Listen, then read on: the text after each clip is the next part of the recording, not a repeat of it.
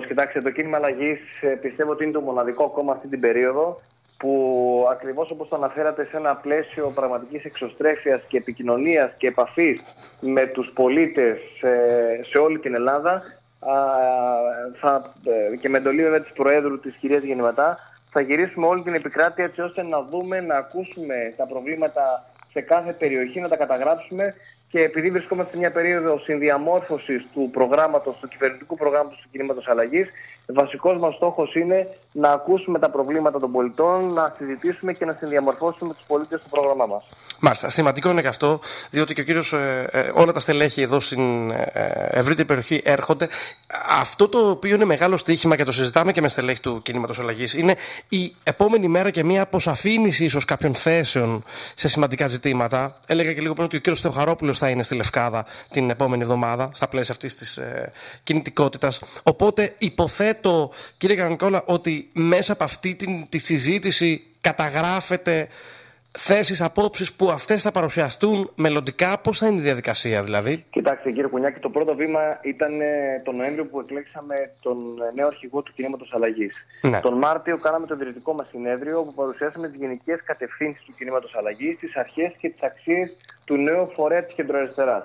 Τώρα είμαστε στην διαδικασία, στη φάση της ολοκλήρωσης του προγραμματικού, του προοδευτικού, όπως λέμε συνέχεια, προγράμματος διακυβέρνησης της χώρας. Ναι. Και γι' αυτό στόχος μας είναι να έρθουμε σε επαφή σε όλη την επικράτεια, να ακούσουμε τους πολίτες από χωριό σε χωριό και πόλη από πόλη σε πόλη, να καταγράψουμε τα προβλήματα που υπάρχουν και σε τοπικό επίπεδο, πέρα από τα γενικότερα προβλήματα, τα εθνικά προβλήματα, τα γνωστά σε όλους μας και να προτείνουμε συγκεκριμένες λύσεις.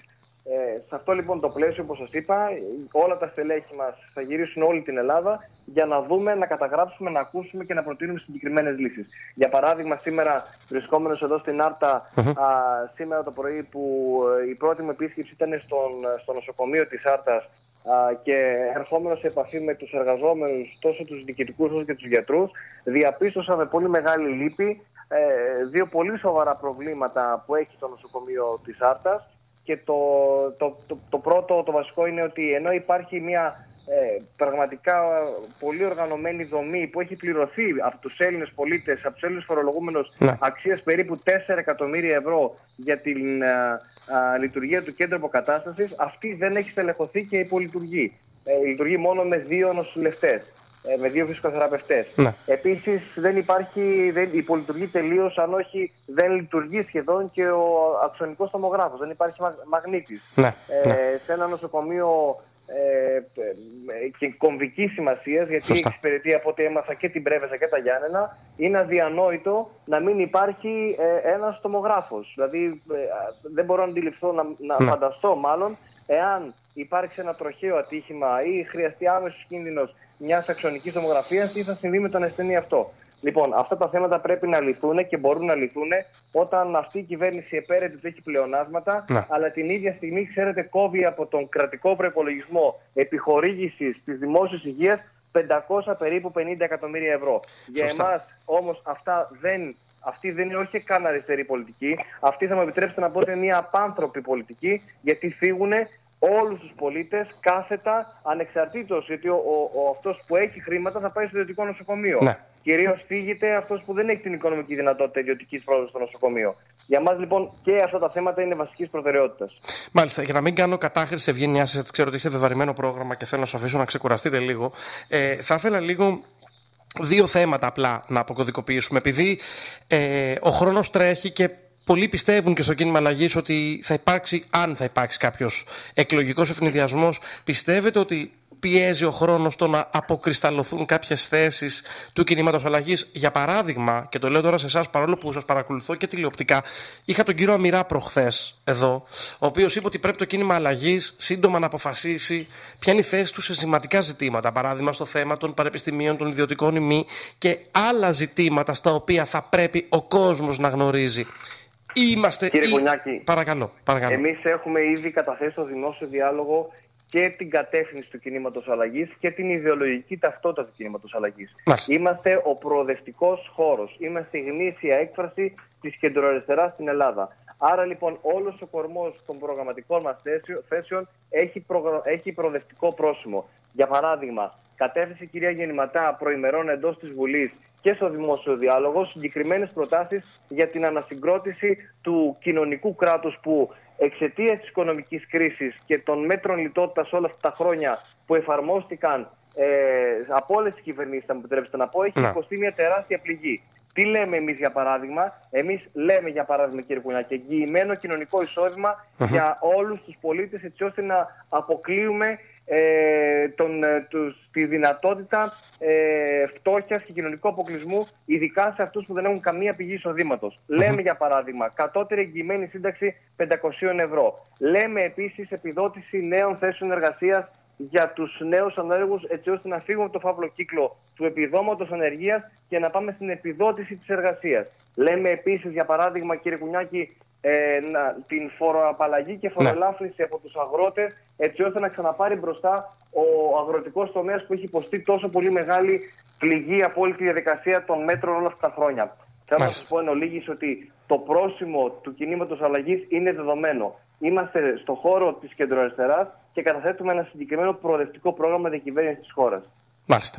Λοιπόν, θα έχει εξαιρετικό ενδιαφέρον μετά από αυτή την ε, ε, βόλτα την πολιτική σε όλη την Ελλάδα να, να, να έχουμε ένα συμπέρασμα καθώς είσαι τώρα και μέσα στην έδρα του Πρωθυπουργού παίζετε σήμερα μπάλα.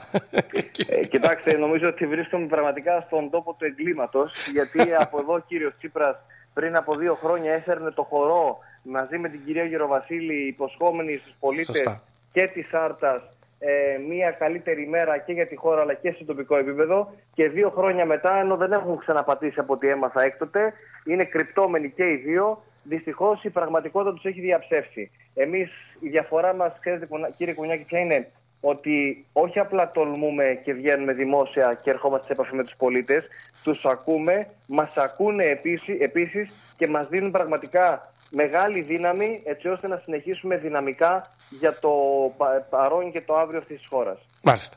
Κύριε Καρανικόλα, πάντα ευχάριστη συζήτηση μαζί σας. Ε, σήμερα λοιπόν το απόγευμα για τους συμπολίτες μας, για τους φίλους που μας ακούνε. Εγώ στην... θέλω να απευθύνω ένα κάλεσμα Βεβαίως. σήμερα σε όσους μας ακούν, γιατί από ό,τι έμαθα, ο σταθμός σας εδώ στην Άρτα την χάνει ιδιαίτερης αγάπης και ε, ε, και μόλις ενημέρωσα εδώ πέρα φίλους και συντρόφους από την νομαρχιακή ότι θα έχω μια τηλεφωνική επικοινωνία μαζί σας. Μου είπαν όλοι ότι τον πρώτο σταθμό που ακούνε είναι ο δικός σας το ραδιόφωνο.